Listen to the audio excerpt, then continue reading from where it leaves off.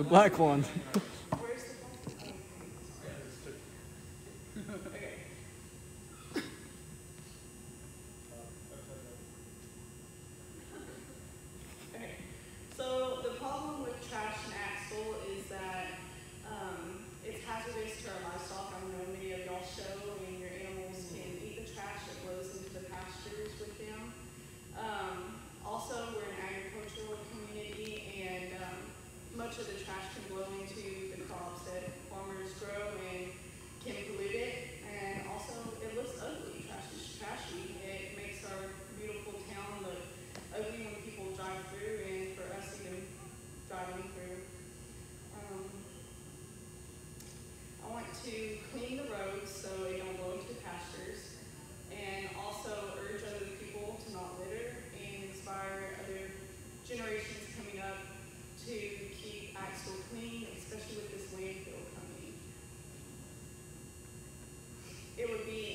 over